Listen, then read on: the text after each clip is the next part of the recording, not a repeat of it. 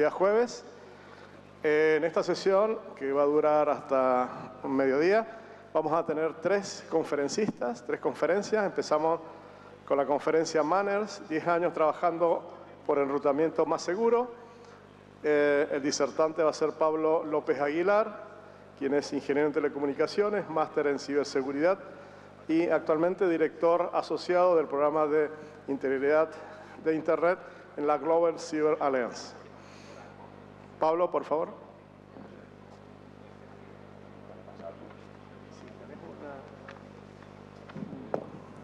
Un aparatito, un mando que puedes pasar, ir y volver. Y, y tenés también para apuntar. El de arriba es apuntar.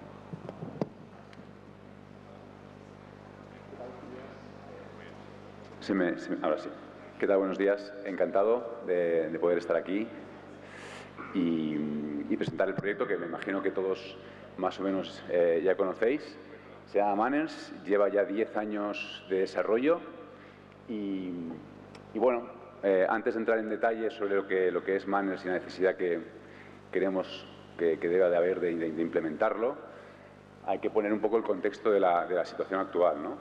Y y bueno, como todos sabéis, a día de hoy en, Internet, el Internet que se conoce eh, está compuesto por 76.000 sistemas eh, autónomos que hacen que Internet sea lo que nosotros conocemos como Internet eh, hoy en día. Entonces, cada sistema autónomo intercambia diferentes información de enrutamiento con el protocolo que también conocéis perfectamente, que se llama PGP. Y Además de eso, existen 970.000 eh, prefijos de Internet, de IP, que conforman también pues, toda la red de Internet. Y como sabéis, BGP, que es el protocolo que se utiliza para intercambiar información de enrutamiento, eh, es el componente fundamental en todo, en todo este sistema. ¿Pero qué es lo que pasa? Bueno, que BGP se, inició hace años, en 1979, antes de que la seguridad fuera un, fuera un problema. Eh, BGP asume que, las redes son confiables y que eh, se pueden, bueno, que no, no, hay, no, hay, por qué preocuparse de hacia dónde, van, de hacia dónde van los paquetes.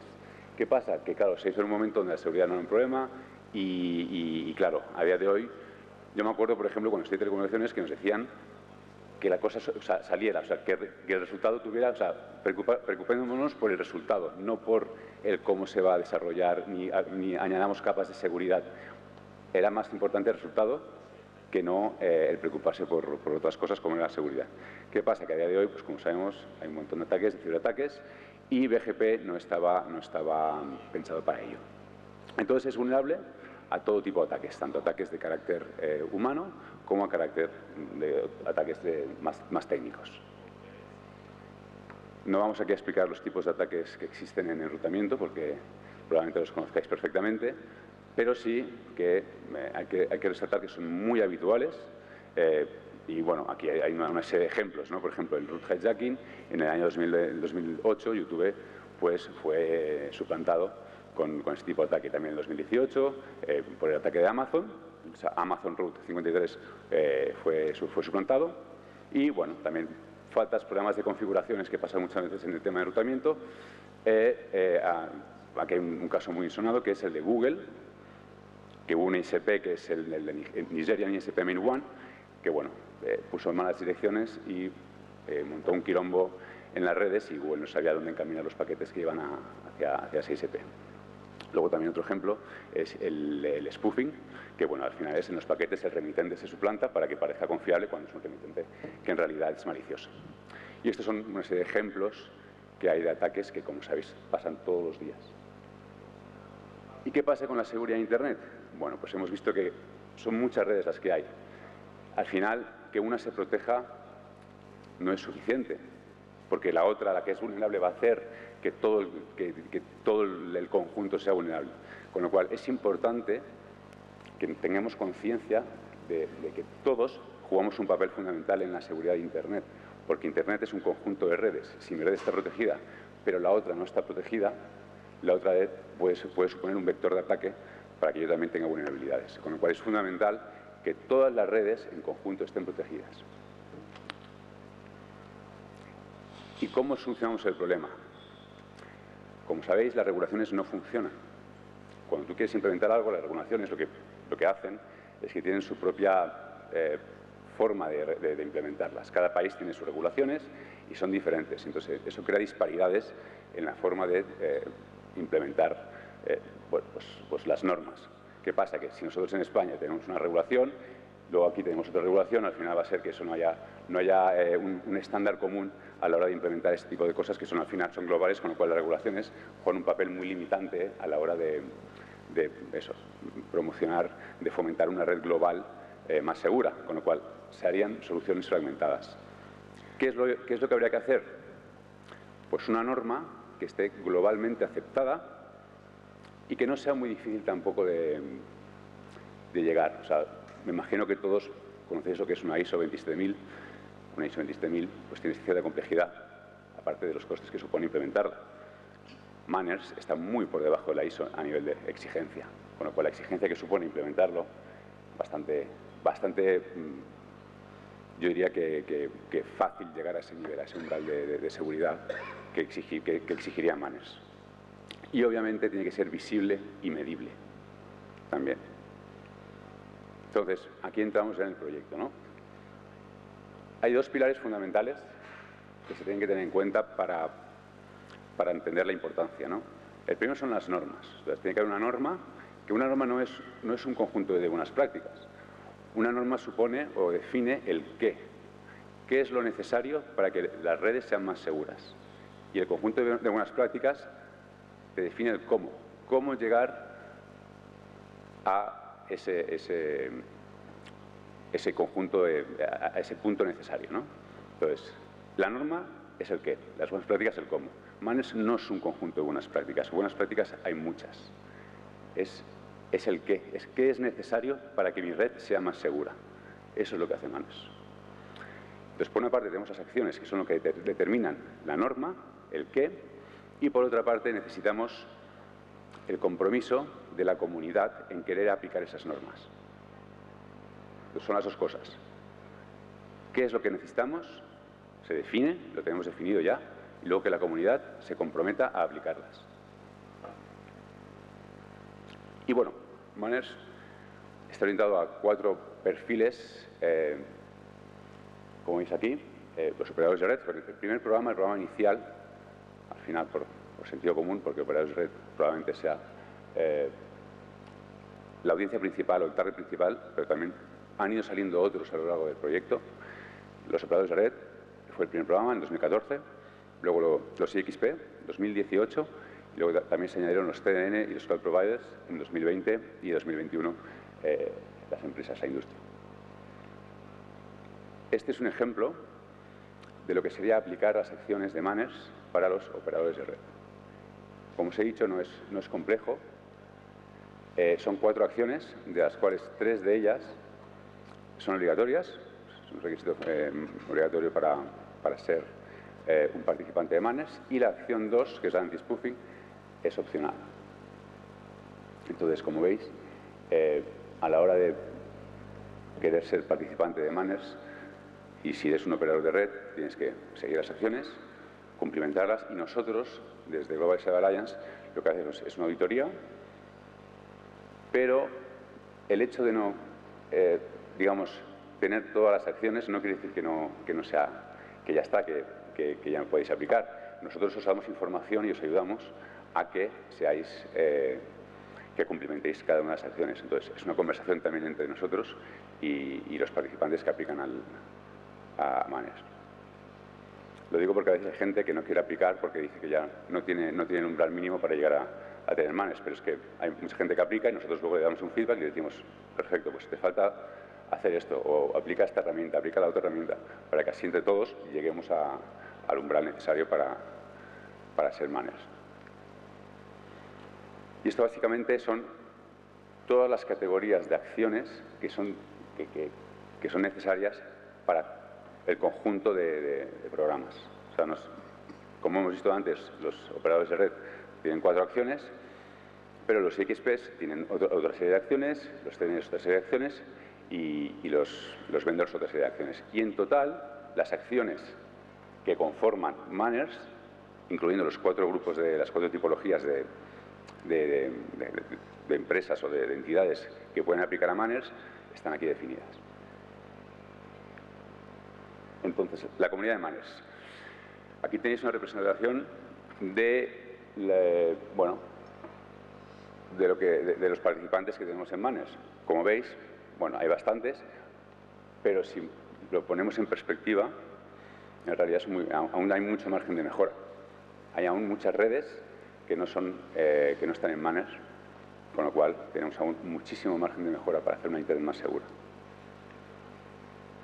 Eh, es un esfuerzo global. Aquí veis cuál es la, eh, la, penetración de Manners en los diferentes países que existen. el, radio, el perímetro de, la circunferencia es mide el tamaño de, la penetración en cada país. Cuanto más grande es la circunferencia, más participantes de Manners hay. Como veis, está en todo el mundo. Hay países que lo han adoptado más y países que lo han adoptado menos. ¿Y por qué unirse a Manners? Bueno, yo creo que es evidente, ¿no?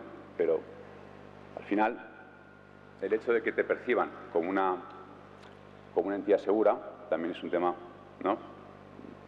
propio pero reputacional. El hecho de que te consideren que tú eres una, que te, que, te preocupas por la seguridad, pues obviamente es, es, importante. Y evidentemente también contribuyes a reducir el número de incidentes que hay en las redes, eh, mejoras las operaciones eh, y, y al final es la imagen que tú das al exterior. Además de protegerte a ti mismo, proteges al exterior. Y eso es, eh, eso es fundamental. Pero claro, Manners no es un proyecto estático. Al final es importante eh, entender que está en evolución permanente y por eso la comunidad tiene que estar implicada en ir actualizando las necesidades que, las redes tienen para ir, para irse, para ir mejorando su seguridad. ¿no? Eh, como he dicho antes, MANES es el requisito mínimo necesario para considerar una red más segura, pero luego hay eh, pues, pasos más, avanzados. ¿no? Tiene bajo riesgo y bajo coste también. Entonces, no es una solución, pero sí que es, es una, no es una solución definitiva, pero sí que es un paso importante como he dicho, a bajo coste y, bajo tiempo para mejorar eh, drásticamente la, seguridad de las redes. Entonces, ¿cómo medimos manes? ¿Cómo mide manes las redes? Es un observatorio, lo llamamos el observatorio, todo es público, eh, como he dicho antes, bueno, es transparente, utilizamos datos públicos y eh, no hace falta que las redes tengan que interactuar permanentemente con el observatorio, simplemente están ahí y aparece, no hay cooperación que se necesite por parte de las redes. Y, como he dicho, está permanentemente eh, evolucionando. Vamos añadiendo funcionalidades al observatorio a medida que va avanzando el tiempo y a medida de, lo que vemos que la comunidad eh, necesita. Aquí, por ejemplo, veis el estado general eh, de redes globales, a nivel global. Tenemos el concepto de Manners Readiness, aquí veis, son todas las acciones, hasta qué, hasta qué porcentaje se han implementado las acciones a nivel general.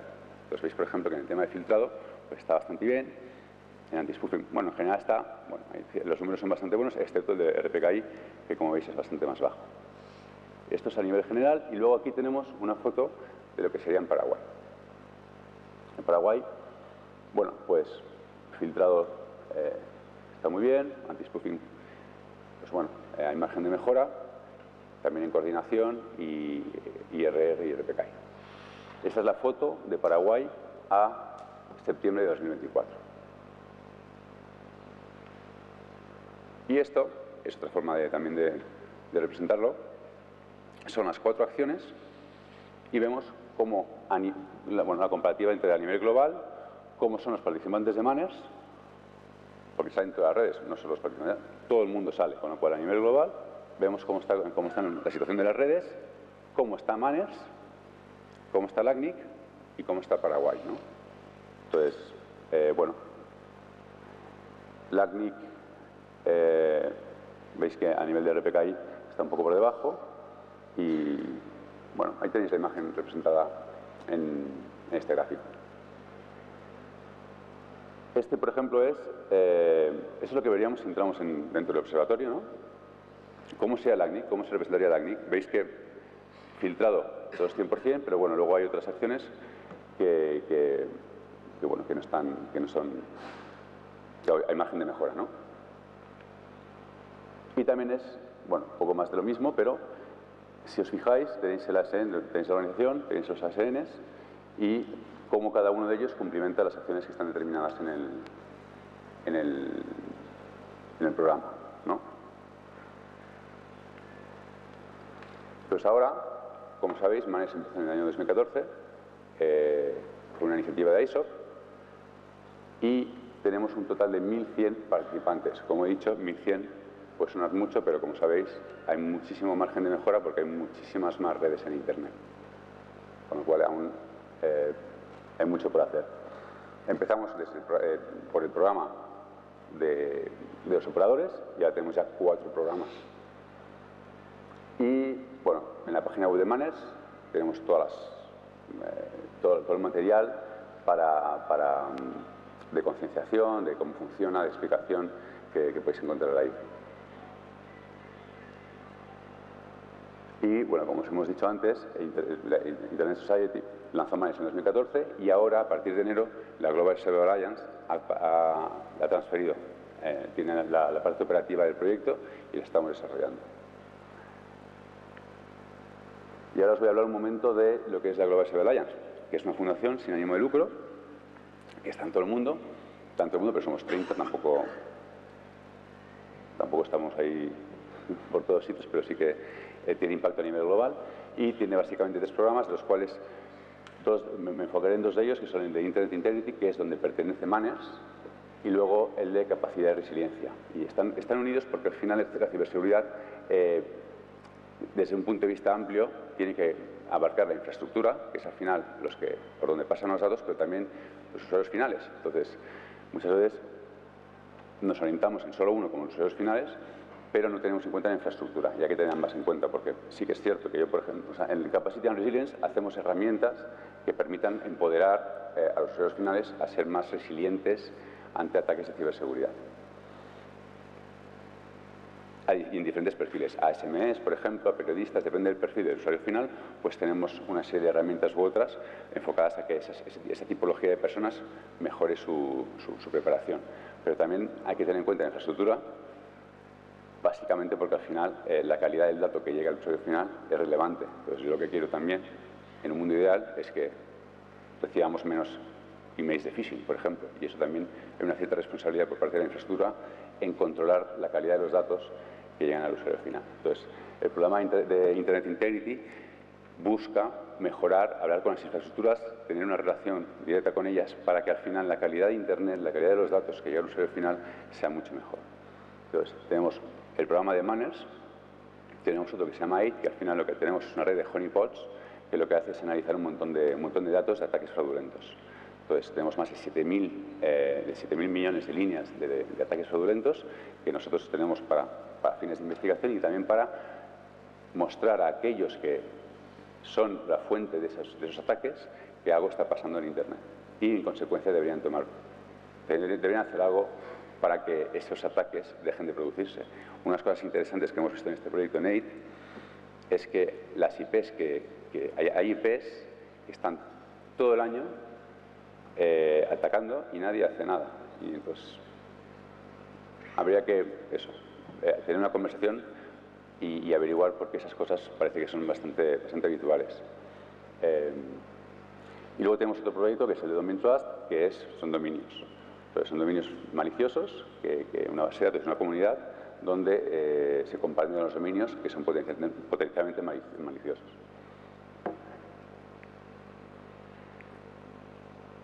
Y aquí, bueno, como comentaba antes... Y aquí, como contaba antes, tenemos todas las informaciones eh, de Manners, un tutorial que va a los si ainda no não conhecem Manners, então podem ter todas las informaciones y, cualquier tipo de, de, pregunta, duda que tengáis, probablemente ahí se resuelva y si no, ya tenéis nuestro contacto, así que va a ser un placer también ayudaros a, que seáis managed conformance o compliant. como decía, aquí tenéis los tutoriales. Eh, cualquier pregunta o duda también estamos aquí en contacto, así que será un placer eh, poder colaborar con vosotros. Más de, más lo que he comentado antes. Eh, al final, la percepción de seguridad es buena para uno mismo porque mejora la seguridad, pero también para los demás porque a nivel reputacional están viendo que te estás preocupando por la ciberseguridad, con lo cual eso es algo fundamental. Y también, por último, os quería comentar que ahora estamos en el periodo de elecciones, el periodo de elecciones eh, del Steering Committee de Manners. Entonces, si estáis interesados, al final el Steering Committee es un, es un comité importante porque son los que representan a la comunidad de Manners y saben hacia dónde tiene que ir y son los que guían el proyecto. Ahora hay eh, elecciones. Si consideráis que tenéis eh, eh, la capacidad de poder aportar eso a la comunidad de Manes en el futuro, pues os, me encantaría que, aquí tenéis el QR, hay un formulario, me encantaría que que aplicarais. Es un formulario, ese formulario luego lo validamos nosotros y la votación es el día 11 de noviembre. Estaremos hasta el 5 de noviembre con las con las votaciones abiertas. Así que bueno, si, queréis aportar a Manes y también determinar el camino que va a seguir en el futuro, os invito a que, a que forméis parte del, comité de, de, Manes, del proyecto. Comité rector, en castellano me parece. Eh, y los resultados los anunciaremos el 17 de noviembre, o el 20 probablemente, porque el 17 es, me parece que es domingo. Aquí tenéis toda la información, como he comentado antes. Eh, y también tenéis mi email, en la presentación, así que será un placer ayudaros y estar en contacto de cara al futuro eh, para al final hacer de Internet un lugar más seguro. Gracias. Gracias. Pablo. Tenemos unos minutos para preguntas.